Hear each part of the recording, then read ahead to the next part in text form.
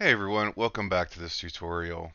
Um, this tutorial is going to basically focus on texturing uh, inside of Substance Painter. Um, in this video, I'm going to talk about import settings and getting your model ready to paint and laying in just a, ba a base layer of color. Um, and, and then lastly, we talk about some importing uh, texture maps and things like that. So let's uh, go over to Substance Painter and get started. All right, here we are in Substance Painter. I'm just going to make a new project here and I'm going to select my low poly model.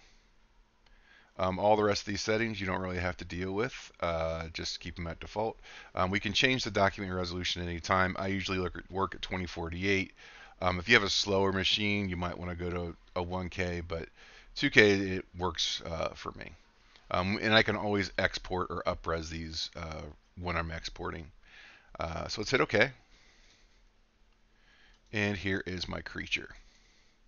So the first thing I want to do is set up um, some channels here for our objects. You can see, um, like I said in the last video, in Maya I apply different materials um, to different parts of the model, um, and you can see them here.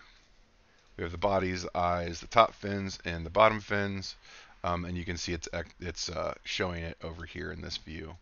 Um, if you don't have this view, it's just going 2D, 3D um, it just switches between those. You can do 3D, 2D, or 3D, or 2D only. Um, and I'm just going to work in 3D, 2D while I'm talking about these UVs.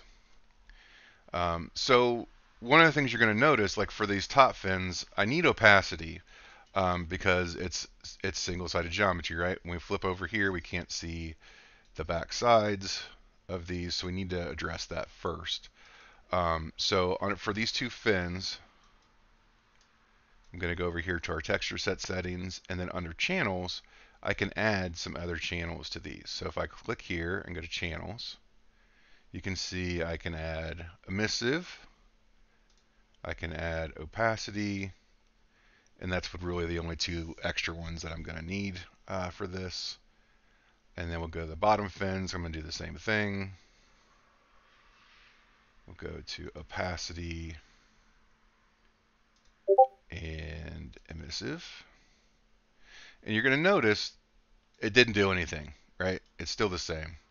So how do we how do we get around that? Um, well, I need to change my shader. So if I click this little ball up here for shader settings, shader settings, say that five times fast. Uh, if I click on this line here and then go down, you'll see I have an option for PBR metal rough with alpha blending. This is what you want to use if you're using um, alpha channels for opacity. So if I click that, you'll notice that now we can see the backside of those fins. So I know that the opacity will show up correctly inside of Substance Painter, which is a great thing. Um, so next up, we're just going to uh, bake our texture maps. So under texture set setting, we're going to hit bake mesh maps. Um, this is where if you have a sculpt geometry or a high-res geometry, you would load it in here. This model is high enough that I'm not going to use that, so I can just click this use low poly mesh as high poly mesh. Um, make sure you do that if you're if you're working on an object, say it's like a creature sculpt or something, and it's pretty high res already. Make sure you still bake your maps. Um, don't skip that part because you're going to get access to all this data um, which we're going to use later on. So make sure you really, really should bake your maps, no matter what. Um, so I'm going to hit bake selected textures, and it's going to do its thing.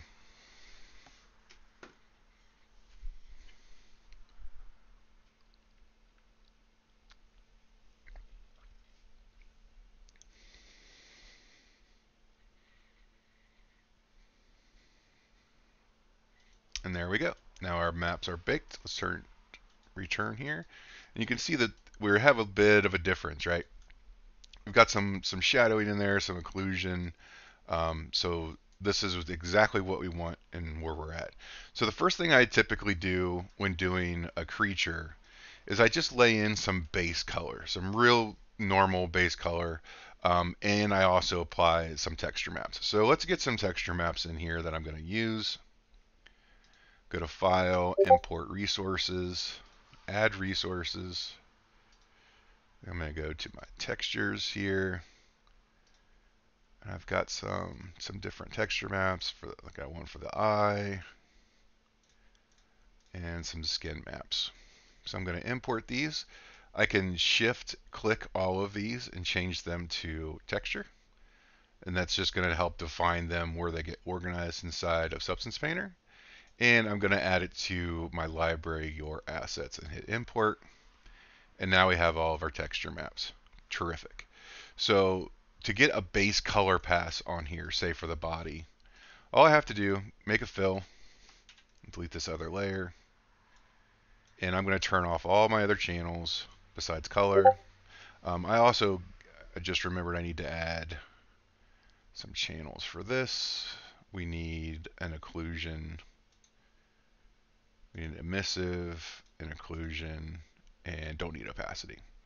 Um, so under my for my body material, I just have color selected, right? So if I click a color, you can see it's going to change, and you can do whatever you want here.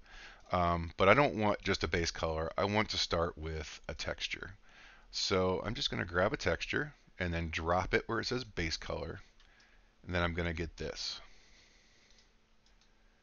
And I can see that's a really fine map, so I don't want to start with that. So let's try something else. There we go. That's a good base color. So one problem that I'm seeing already, right? I've got this really reflect, reflective surface. And the reason for that is I don't have any channels um, or any layers set up that are affecting the roughness in the metal. So if I just make a normal channel here, put it underneath of our color, um, I'm going to go ahead and just set these channels for metal and rough. So the metallic is going to be black, and then roughness, we're going to raise it all the way up to like 0.7, something like that. And we'll change this later, but for now it's really good to kind of work without those highlights.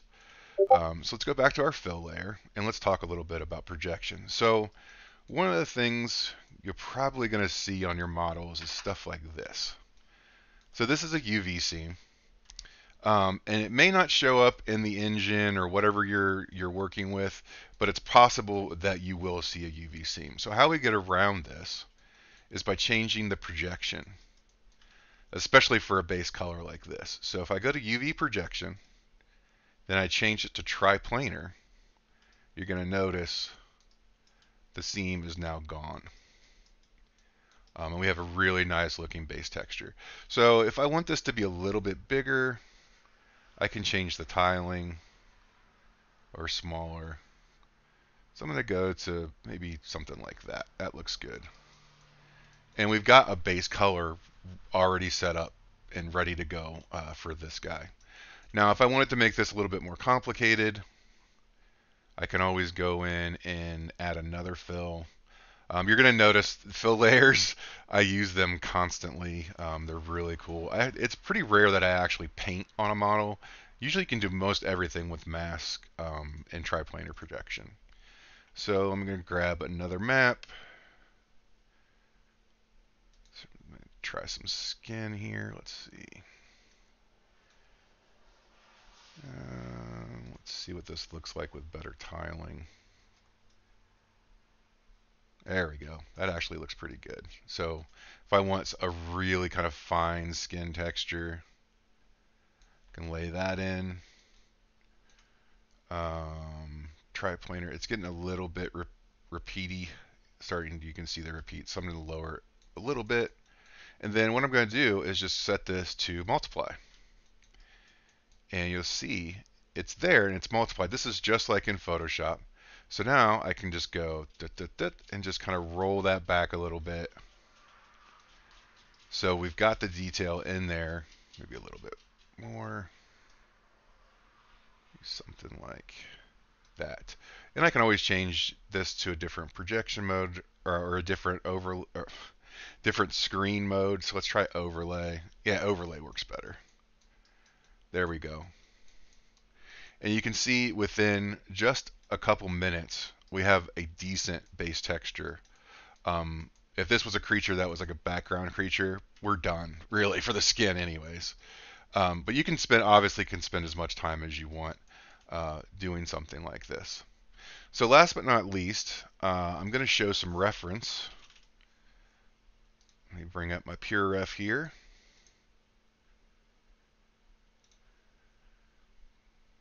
One second.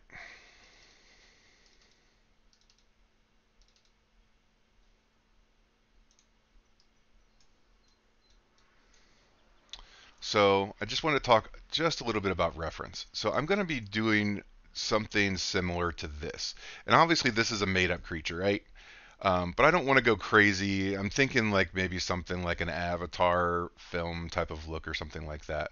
So I'm going to find different elements uh, that I like. So like on this sea slug right here, I really like this fall off between that blue and white. Um, so I may use something like that on the fins. Um, I really like this pattern here, where it kind of has this really fine pattern, then gets bigger, and then falls off to a nice pretty gradient. Um, so I'll probably use that as well. And I'll definitely be picking up some colors as well uh, to add into here. Um, I just want to talk a little bit about that because I won't use explicit reference. So I'm just kind of, because this is a fantasy creature and I'm just kind of winging it. But I want some kind of frame of reference to like real life. Um, and I may use something like this, like this kind of color on the body, or maybe this kind of shading on the body, but not the color. Um, I'll kind of make that up as I go along. Um, so that's it for this video. Uh, just makes just to kind of recap what we did. Um, talked about importing, went over texture sets, how to bake maps, um, put in some base noise color, how to layer color, um, and talked a little bit about uh, bringing reference and um, making sure that you're using reference of some kind um, as you're starting to paint and importing our texture maps uh, as well. That's all for this video. I will see you in the next one.